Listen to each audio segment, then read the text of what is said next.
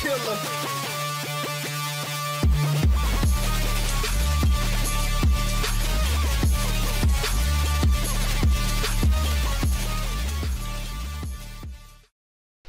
Hey, what's going on guys? It's Gamer here, bringing you another super review today. We're, we're reviewing Super uh, Super Episode 104, titled A Faster Than Light Battle Begins, Goku and Hits Joint Front.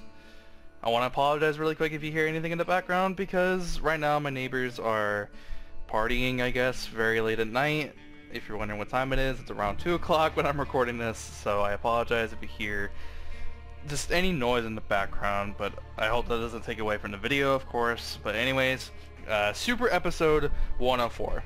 A lot of people may find a lot of controversy behind this episode, specifically uh, with how fast the speed of Dyspo is, and hit, uh, and all this other crap, and of course, uh, Super Saiyan God, of course, with the return and how it was basically brought back. So the episode starts off with where it ended in last week's episode of Dyspo and Hit. They're getting ready to fight, and uh, obviously Dyspo knows who Hit is. He knows that he has the time skip, and Dyspo actually tells Hit that he knows how to basically, you know, beat the time skip. He's figured out a way how to beat the time skip, and obviously this is done off screen, so because we didn't see how he was able to do it. But of course, uh, the fight starts off with kind of like a long stare down, as most fights do uh, for some reason. But Dyspo goes in for a charged in attack, go, uh, hit, tries to use his time skip, and it doesn't work. Uh, Dyspo actually was able to uh, hit him, iron unironically, uh, before Hit was able to use the time skip. And the reason behind why he was he's able to counter a lot of Hit's time skip maneuvers is because uh, his his ears can you know hear frequency sound waves coming from the tightened muscle joints of Hit using the time skip. And what I find kind of surprising, but almost not surprising at the same time, uh, is that Dyspo and Hit are moving so quickly that not even the two Zenos uh, that are watching the tournament can see what's happening. So what what was what was really funny I found was that um, what's it called? The Grand Priest, the Dai Shinkan, had kind of put in like this other thing uh, on like the God Pad or whatever it's called, so that way they're able to see what happened at that instant and then basically put it in slow motion.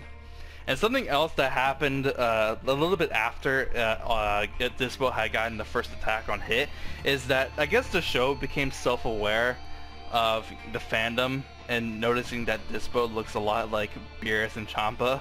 And so uh, Champa then points out the fact that Dyspo looks a lot like Beerus uh, to Vados, and Vados is like, well, then that means he looks like a lot, a lot like you, Champa. And that was really funny. I thought that was really, really hilarious because I guess the show is became self-aware. It was really funny. Uh, I enjoyed that very, very much. Uh, of course, we get back to uh, a lot of fighting scenes between Dyspo and Hit, which was the main focus for the first half of the episode. It really wasn't anything else besides maybe a few cutaways to like maybe like Beerus or just some of the gods of their general reactions of what's going on between the fight between Hit and Dyspo, of course. Uh, just all everyone's just immediately surprised. Uh, the rest of the Pride Troopers that are there, that are still on the arena, are watching it.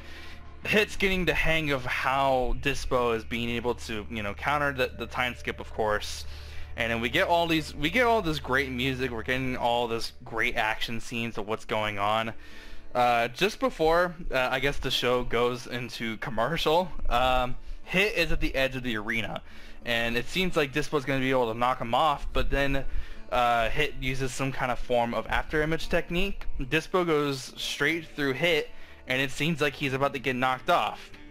And like I said, they go into commercial break, I guess, and uh, Kunshi, I want to say that's, that's what his name is, uh, the little green dude of the Pride Troopers, he has like energy lasso or fucking whatever uh, through his hands, and so he used that. Yeah, Kunshi, that's his name is. Uh, he shot out like lasso energy uh, things coming from his hand, and had basically saved Dyspo from falling off of the arena. Uh, after that, uh, Dyspo and Kunshi decided to actually team up against Hit because, um, you know, Dyspo with his speed and then the Hit being able to, you know, counter that after realizing uh, what he can do to counter Dyspo. Uh, Kunshi's there to basically like lasso up Hit so that way he can actually, uh, you know, get into some kind of trouble so that way Dyspo can be able to get a couple of hits in there. Uh, Dyspo's hitting uh, hitting hit uh, a lot actually. He's hitting it with a barrage of attacks. And then we see this fiery blaze come out of nowhere. And of course, if you've seen the latest leaks that have come out in uh, the recent few coming days, not coming days, but the last few days, uh, you would know that Super Saiyan God uh, planned on making a return into Super, and that's exactly what happened. Super Saiyan God had finally appeared into the series uh, since the since the Battle of Gods arc and the Battle of Gods movie even, and that made me really happy. But I feel like now wasn't really the the best time to introduce Super Saiyan God, I guess, because even against Universe 9 with the trio of dangers, uh, Goku never really decided to use Super Saiyan God, you know, kind of just uh, restrain his stamina, but also have you know, the power capability to be able to knock them out of the arena. Only now has he decided to, you know, kind of use the Super Saiyan God transformation. And, uh, unironically, what they decided to do uh, between the conversation between Beerus and uh, Whis is that they decided to basically do, they basically decided to do what Toyotaro did in the manga for Dragon Ball Super uh, in the Goku Black arc actually. Uh, basically, Toyotaro brought back the Super Saiyan God transformation and also introduced us to Super Saiyan God Vegeta. Uh, and basically what Vegeta and Goku did in the Goku Black arc in the manga was they were in their Super Saiyan God transformation. They basically conserve a lot of their power and stamina and then they would transform into their Super Saiyan Blue form. They basically get that extra amount of power increase to be able to you know, deal a lot of damage. And for the rest of the episode that Goku is on screen, he is actually doing that from different scenes that happen in the manga. He would charge up, he would charge at uh, just someone like Dyspo, and then whenever he needed that additional strength of power of, of Super Saiyan Blue, uh, he would then go ahead and transform into blue for a quick second and then be able to get a hit on him that did a lot of damage. And then he was, and then he would resort back to Super Saiyan God or Super Saiyan Red, however you want to call it. I've heard it, I've heard it call, I've heard it been called in many different ways. Uh, you know, then he would resort back to that transformation, basically conserve his stamina. So Goku shows up.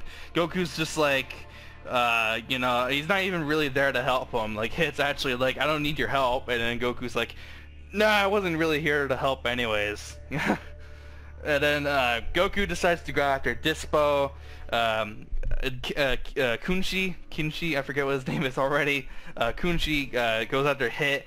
Immediately, Goku's already fighting Dyspo, and this was so fast that Goku doesn't have enough time to be able to uh, basically active, uh, not activate really, but use uh, the instantaneous movement or instant transmission but of course, uh, this is Goku, and he he has you know Super Saiyan Blue and all. He's able to you know gain the advantage of being able to outspeed uh, Dyspo. I'm running out of breath. I apologize. Um, we're uh, we're in the middle of seeing a scene between Hit and, and Kunshi. Uh, Kunshi sets up like a minefield of like the lasso thing or whatever. I don't really know what to call it.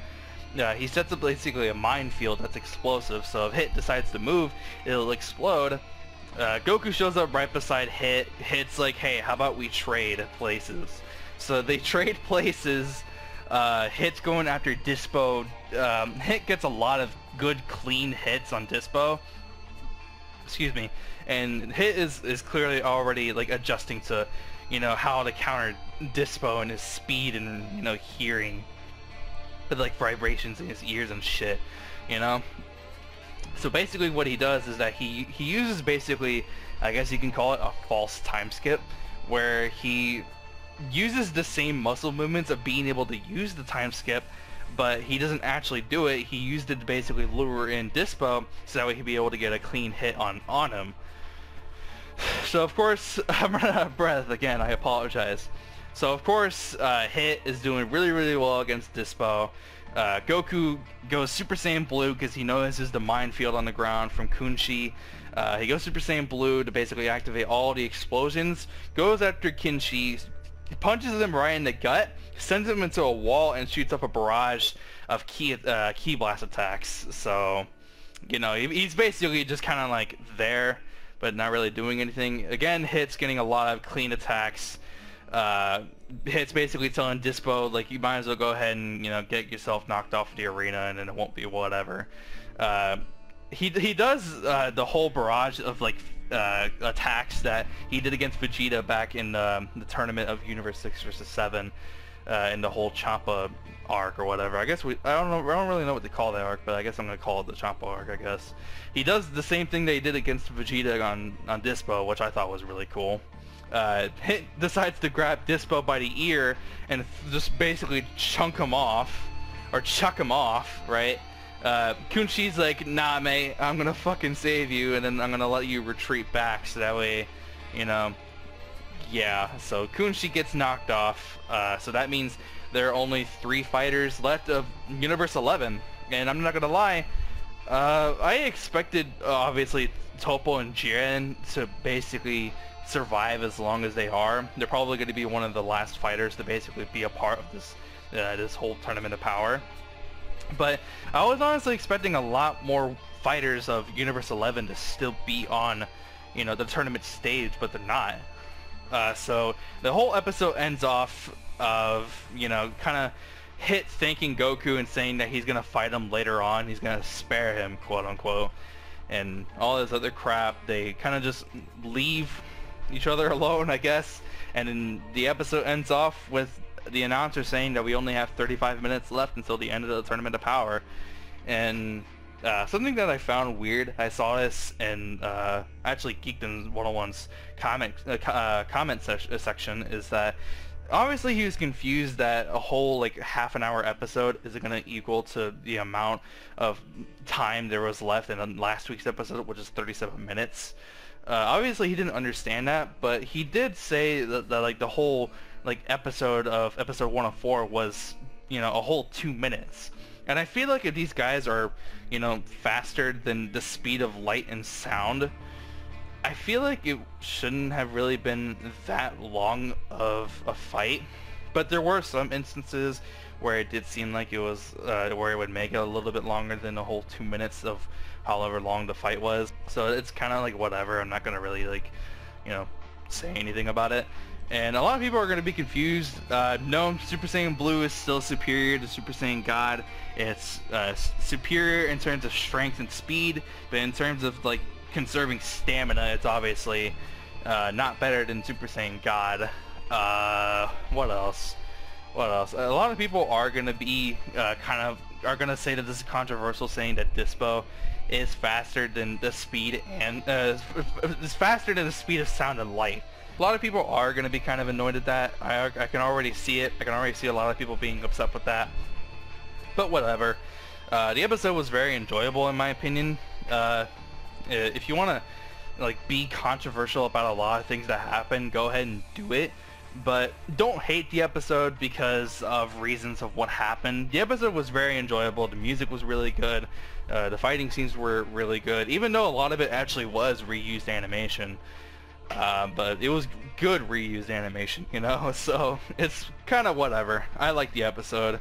Uh, you know, of course, the the writing was very, very good for, uh, you know, what the characters had to say to each other and all that other crap. I'm, I'm rambling on. If you guys enjoyed the video, please be sure to drop a like, and if you want to see more videos like this, please be sure to subscribe.